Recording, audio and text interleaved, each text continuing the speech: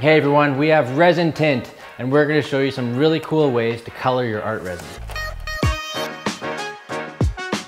You can mix the ResinTint right into ArtResin and then pour it into molds. And you can mix different colors into different little cups and pour it and just let it flow. And it even floats on water. And wait till you see what you can do with that.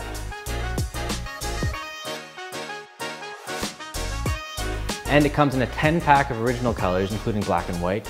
And then we have our metallics and pearls. There's three metallics and five pearls. And then our six pack of neon brights, which is Dave's favorite.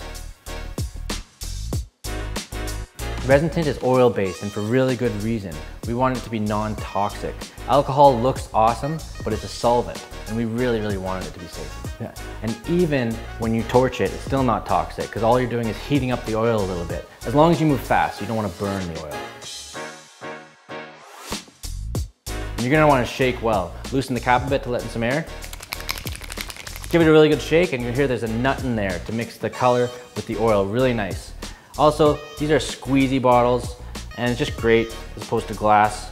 You'll see why we picked squeezy. Squeezy. Color enthusiast Josie Lewis flew all the way here to play with us and ResinTint. Yeah, and here's some of the fun that we had with her.